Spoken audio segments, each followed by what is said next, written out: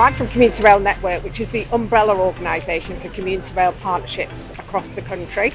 And this week is all about highlighting the Go Green by train and just trying to promote uh, green travel and encouraging people to use the train more.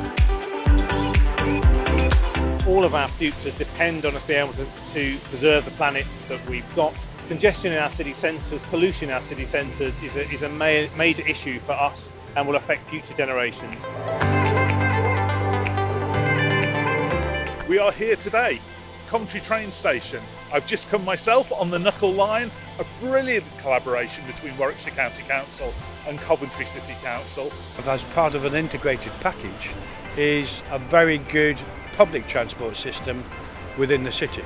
Railway stations have to become transport hubs, so make it easier for people to travel.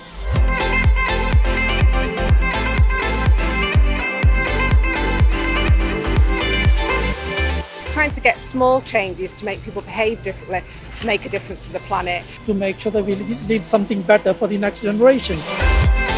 Going by train is the greenest of the transport options. Train is clean and fast and efficient. It's got a major role to play in, in the green agenda. Make the change, reduce your carbon footprint and travel by train.